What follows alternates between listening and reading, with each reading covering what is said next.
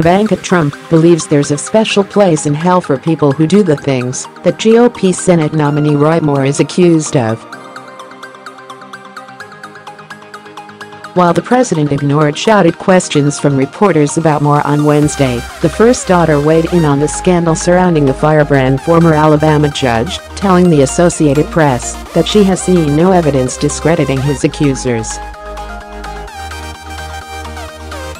Moore has been accused of pursuing sexual and romantic relationships with teenage girls, one as young as 14, when he was in his 30s.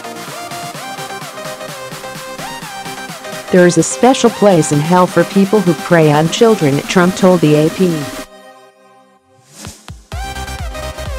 I've yet to see a valid explanation, and I have no reason to doubt the victims' accounts.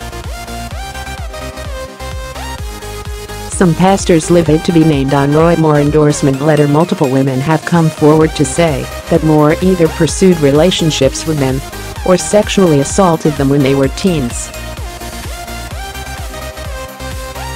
Moore has denied the charges. Trump did not call on Moore to exit the race to fill the Senate seat left vacant by Attorney General Jeff Sessions.